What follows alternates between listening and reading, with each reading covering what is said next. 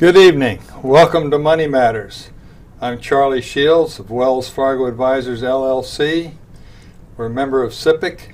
My co-host tonight is Patricia Dunn and Pat from Merrill Lynch, also a member of SIPC. Pat, good to see you. Good to see you again. Good to see you. Our uh, special guest is a cardiac surgeon, Francis P. Sutter. He's allowed us to call him Fran as the show rolls on. This is going to be a fascinating show. We all worry about our heart, so stick with us. We're going to talk to you about your money and your heart. Great show tonight. Okay, Pat, good to see you. Let's talk a little bit about blue chip stock valuations. Everybody has felt safe buying stocks in the United States, especially the dividend payers. And now some of them are getting up to 25 times earnings or some number up in that area. Do you think people should be thinking about shifting a little money somewhere else? Actually, no. I'm staying with the large caps and with the large cap value stocks. Okay. I think the next play is in the value space as opposed to in the growth space. So th- not the ones that are at 25 times earnings, but maybe the ones that are at 15 or 17 times Exactly. earnings. Good. That's, that sounds like good advice. And uh, I agree with you that you have to be very careful because people all over the world have been buying U.S. stocks and they've all bought the same ones, and the growth stocks, the valuations are too high. So people should be talking to their investment advisor. Yes. We want to remind them not to time their decisions based on what we're talking about today. It's this is aired at different times in different places, so talk to your advisor. We're not accountants, we're not lawyers. We're just going to try to give them good advice, right? Exactly. Okay, thanks. Now, uh, does the political environment worry you at all?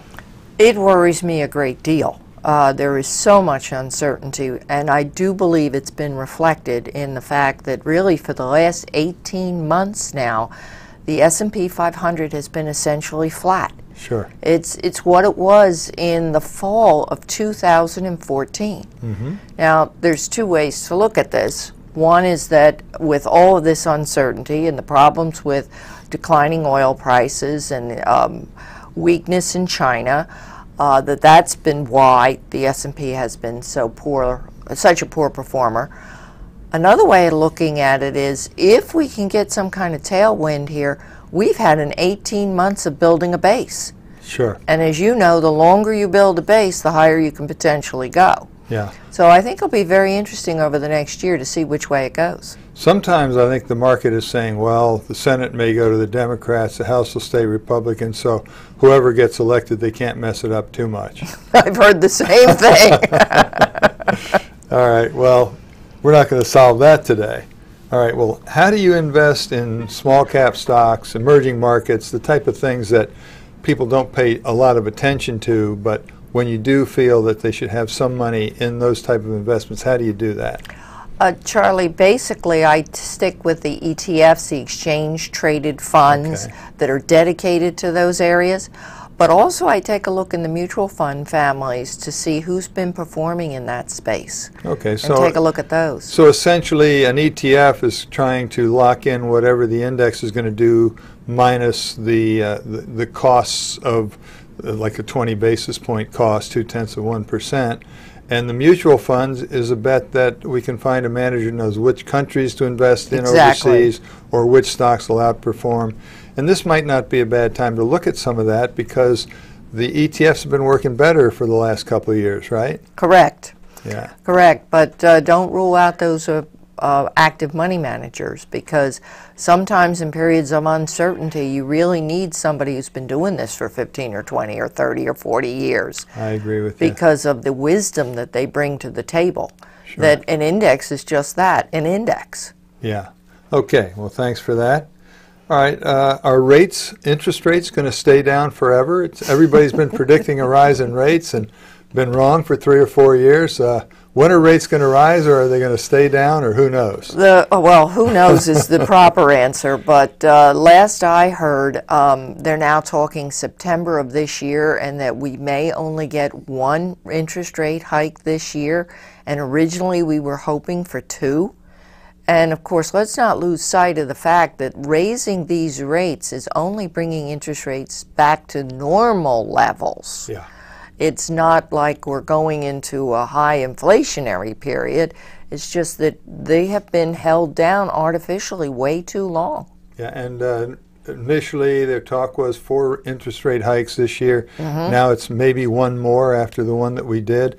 And of course, as we get closer to the election, the Fed is probably a little bit of gun shy about not wanting to look like they're getting involved in the politics of a presidential race. Correct. race. Yes. So that's why it'll probably be September. Okay, um, let's talk a little bit about municipal bonds. It's kind of interesting to me when you see that U.S. government bonds, which are taxable, have lower interest rates when you go out to 10 or 30 years than the tax-free bonds do. So there's kind of an inversion there where you can get a higher yield and not pay any taxes. Uh, so what do you think about investing in tax-free municipal bonds? Actually, I'm in favor of the tax-free municipal bonds, and what you pointed out is absolutely true. Normal times, government bonds would yield more. We're not in normal times. It's exactly the opposite. Municipal bonds are yielding more. But uh, we have an awful lot of demand chasing very little capacity. And towards the end of this year, we're going to have a huge maturity. Lots and lots of bonds are going to be maturing in That's the going third to break quarter. people's hearts that we're getting 5% and now it's like 3 or depending on, of course, what your maturity is. You're absolutely right, but it's a built in demand. Mm-hmm. And you have that kind of built in demand, you know what that's going to do to prices. Sure. So people who have municipal bonds will probably have more stability.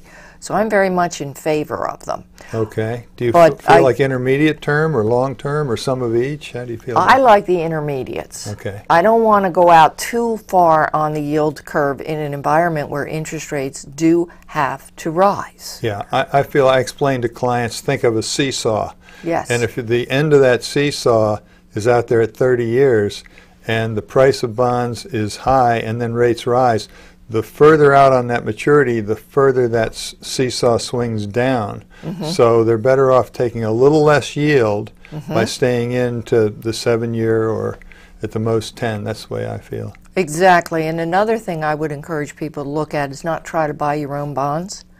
Because what the public often does not realize is that the institutions get the first shot at these bonds. Mm-hmm. So go, go with a good money manager. Sure. If you're buying from your individual broker, they've been marked up several times, and you may be able to pay a small fee for munis and still get as good a price as you would have gotten buying directly from your broker. Correct? Well, the money manager gets the best inventory. Yeah. And the crumbs are left for the retail market. Okay. And yes, then it does get marked up. Yeah, that sums it up pretty well. All right. Well, uh, let's talk about emerging market debt. Uh, yields are high out there. Mm-hmm. People are searching for debt. Emerging markets have underperformed for a long time. Do you have any desire to own emerging market debt? No. Okay. Well, that's a, That's a simple answer. answer. Yeah, fine. All right. So I think the bottom line of my question is don't just look at how much yield you can get. Make sure that the person you're working with understands how much risk is involved with that. And uh, maybe you can find something like a real estate investment trust that has a good yield that where you're probably going to get your money. But in the in the fixed interest world right now, I like Will Rogers' theory. I'm more interested in the return of my investment than the return on my investment. I couldn't agree more. And chasing yield in a low environment, low interest rate environment is fraught with dangers. Terrific. Thanks, Pat. Okay, let's see if we can help one of our viewers. This is from uh, Jerome Neck of Marion. He says, What's the difference between the date of record and ex dividend date when making a stock purchase? Good question, Jerome. And I tell my clients that uh, when it comes to purchasing a stock, what's important to you is the ex dividend date, not the date of record. If you purchase a stock because you're looking to get the next dividend, you want to do so before the ex dividend date. And if you do that, then you will be um, on the company's book as of the date of record in order to receive that dividend. So don't worry about the date of record. Only worry about the ex dividend date if you're make, purchasing a stock to get the next dividend. And in theory, when you purchase a stock, if they've just paid a dividend that day, even, the stock should drop to Yes. reflect the dividend anyway, right? Yes, so if you're if you're willing to wait three months, it's often a good practice to buy it on the ex-dividend date because you know you're not going to get the dividend, and you might pick up the stock a little bit cheaper. Okay, well, thanks for that advice. If you have a question, please send it in. Uh, we're going to give you a uh, video that'll tell you in about 45 seconds how you can get a question into us. You can have your questions answered on Money Matters. Please go to our website, money-matterstv.com. On our homepage, click on the banner on the right that says Send us your questions. While you're on our website, you can find information about our host and guests, as well as show notes and links about this show and past shows. Money Matters is also available as a podcast on iTunes and Stitcher, so you can listen to Money Matters while you're on the go. That website address again is money, M O N E Y, dash matters, M A T T E R S, TV dot com. Now to an important segment of the show that hopefully will not affect us all, but could affect any one of us. Dr. Francis Sutter has come in here tonight. He's a uh, an expert uh, heart surgeon, cardiac surgery, and we appreciate you being here, Fran. Thanks. Happy to be here. Great, great. Well, before we get into the latest technology, I'd just like to you to take a minute or two to give us a kind of history about what's happened in the past with heart surgery so that we can get a feel for where we are now. Okay, well, that's great. So I brought in some posters.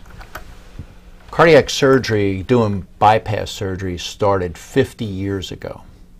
And what they did is this is a picture. There's three major arteries on the heart. You can see there's blockages in each one. The blood goes this way. And with these blockages, the blood doesn't get to the heart muscle. So what we did was bypasses, and we used some vein from the leg, and we went around them.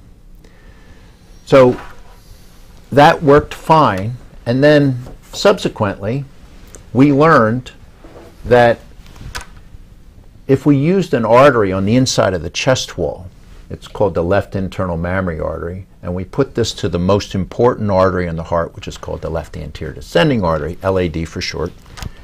If we did this, there was a huge survival difference compared to those patients that had a vein graft here.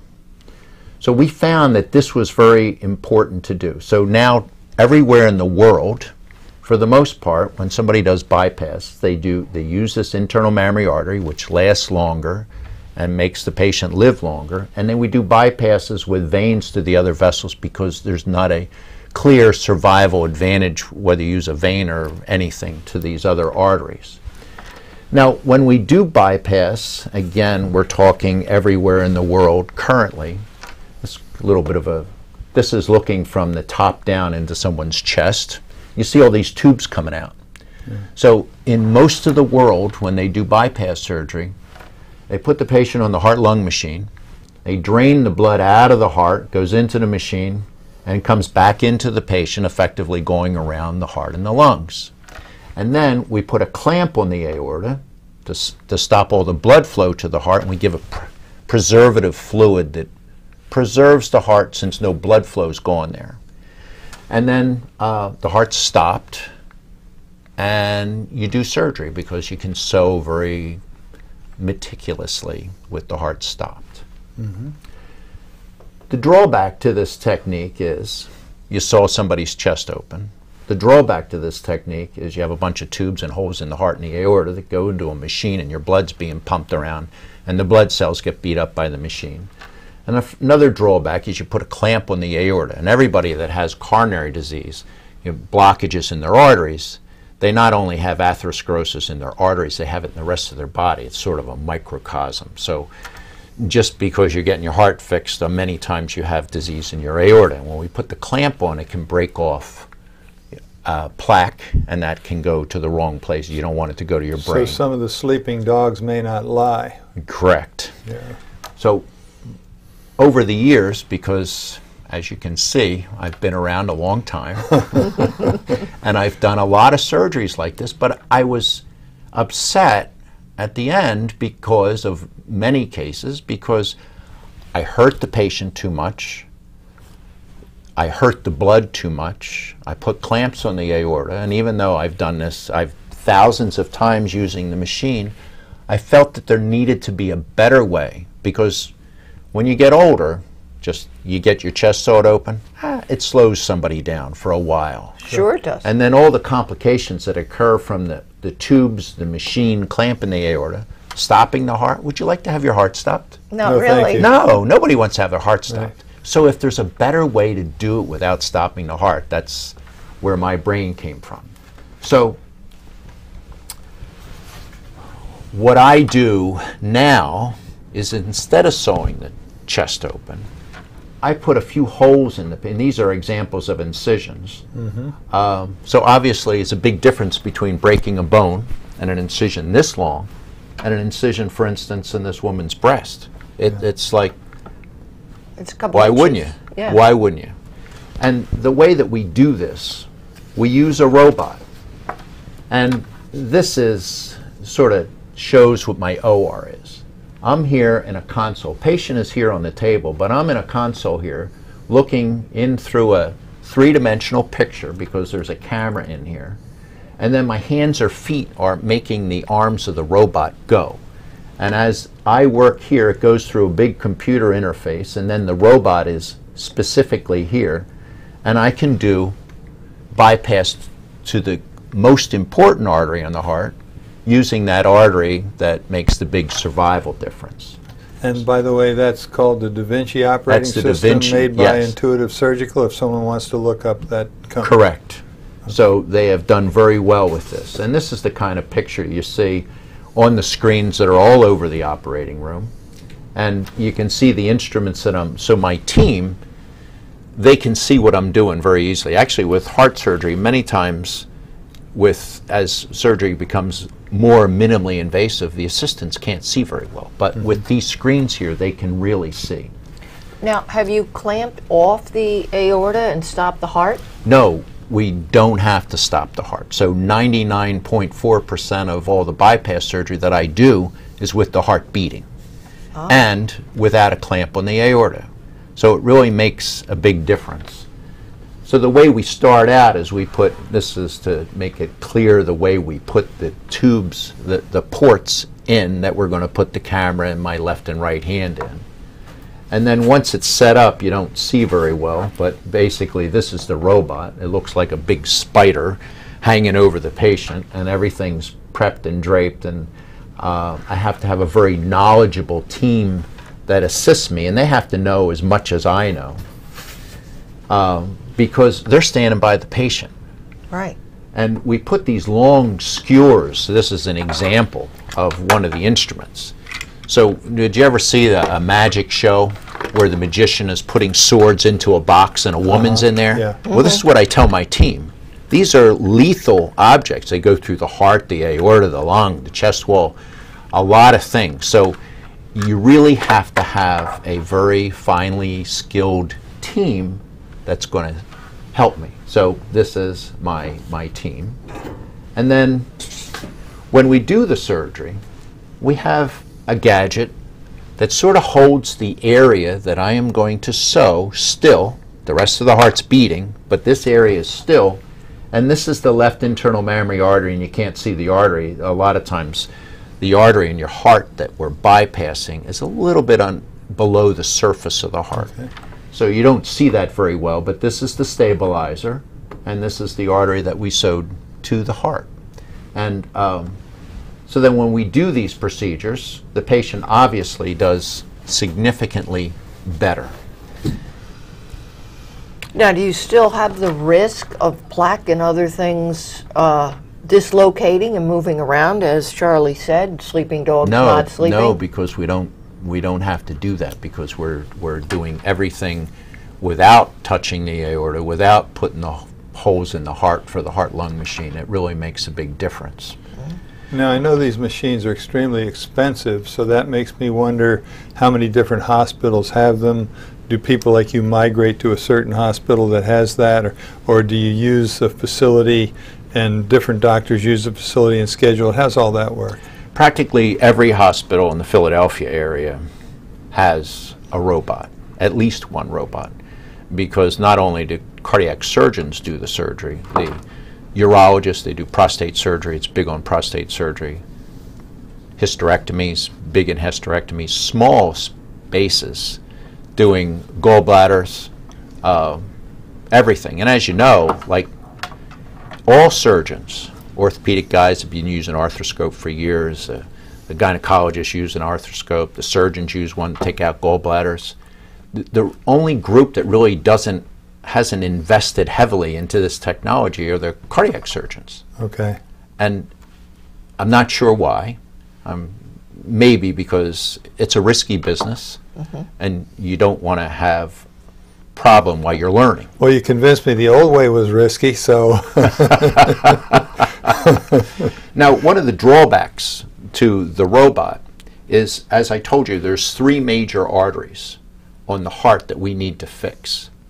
And the robot, I can do the most important one, but the other two, I can't do. I can do maybe one of them. It's a little bit of a push, but I can't do the other two arteries. Okay. So when we come to that situation, this is where 21st century technology with the robot and 21st century technology with stents makes a big difference. okay. Uh, does this lead us into this cor- coronary grafting and that sort of thing? so to the hybrid, Hybrid. which is something that the American Medical Association, or excuse me, the American College of Cardiology, American Heart Association say that it's a good thing to do. Now, this is the 50 years ago picture, but this tells us in this day and age, if this same patient came in with this narrowing, this narrowing, and this narrowing, there'd be no question in my mind they would get stents. They wouldn't even be close to bypass surgery Okay. because stents do better when the narrowing is very well, focal in a large artery.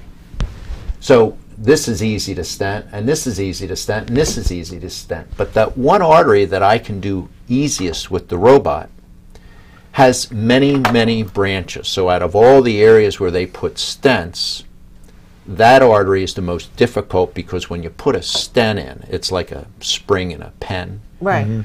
because there's so many branches, you might fix one area, but you might, what we call in the business, jail off other arteries so that the, the rings in the spring are uh, up against the opening of the side branch. Is this done arthroscopic?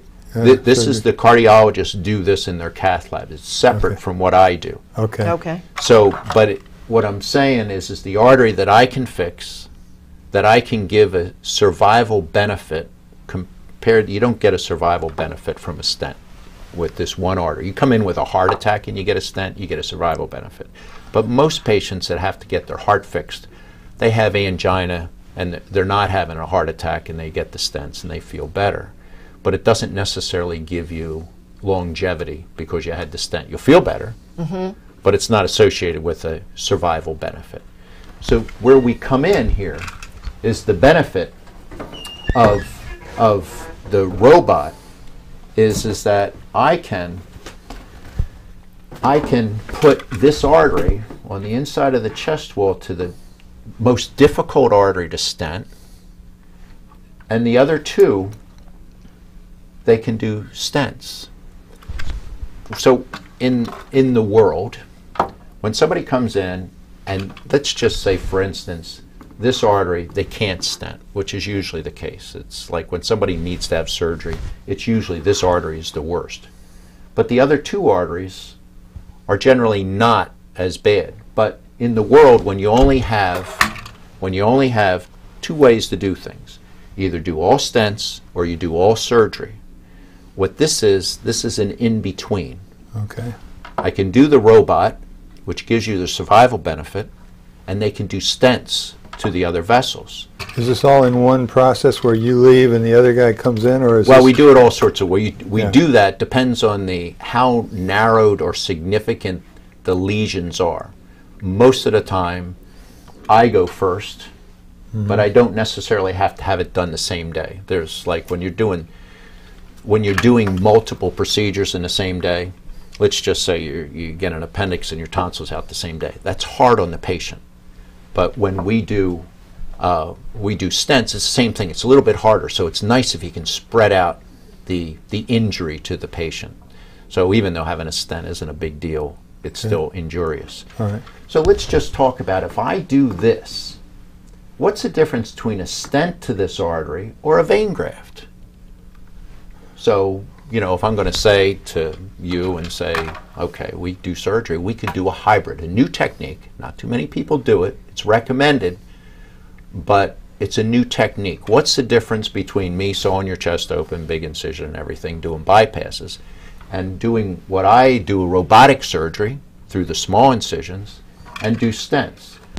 Well, we know that this is very important, but how does a stent compare to a vein graft? Well, a vein graft, 20% close in the first year. 20% of vein grafts close in the first year. Wow. You mean like collapse? Done, just pow. And this Just is dead. this is across the world. So do over. Twenty percent close. Okay. Now, be, because you most of the time you have this artery, it, it doesn't have as big of an impact. Yeah. Okay. So how do a stent? How does a stent do? Do they close sometimes, but less than one percent in the first year? I'll take the stent. Okay. So then, how long does this vein graft last? Well, at 10 years, half the vein grafts are shut, and of the ones that are still open, half of them have serious narrowings. Well, how do the stents do? 95% stay open forever. Well, sometimes the stents re-narrow. Well, how do the stents do compared to vein grafts? Well, the stents um, re-narrow like probably a quarter to a third of what the stent re-narrowing might be. So it might not close totally, but basically I'm telling you the stents do dramatically better than the current therapy. Okay. Uh, this time has, has flown by. We've got a minute or so left. And one thing I want you to hit today, please, is the person that says, Well, I've got uh, 120 over 80 and I've got a nice low pulse rate, so my heart's fine, I'm sure. Should that person be making sure that things are as okay as they think they are? Or is this somebody who gets indications from high blood pressure and all that that they might be in trouble? Most of the time you get some indication because you have high blood pressure, you have cholesterol and everything else. But it doesn't necessarily mean because you have a perfect heart rate and perfect blood pressure that you don't have coronary disease. So you really need to be cautious. And most people also don't think about genetics. I'm always shocked to hear that somebody says, Well, my father died when he was 42, and I'm turning 42 next week, and I just, well, I don't know, understand why I had this heart attack. and it really, it, it is, it's almost like pre-made or predestined almost to the year. It, it, it's so the biggest thing is how your mom and dad do and grandparents makes a big difference. Um, cholesterol makes a big difference, and then you sort of have to be if you have the the uh, if you have cholesterol and blood pressure, you just need to be more cautious about little chest pains here and there. And there we have to end it. I really appreciate you coming in. Uh, this has been a terrific show, and I hope we can get you back. Uh, next week, our special guest is going to be uh, Chris Miles. We're going to learn about technology. He's the CEO of Miles Technology. So we hope you'll tune us in. As far as we're concerned, your money matters.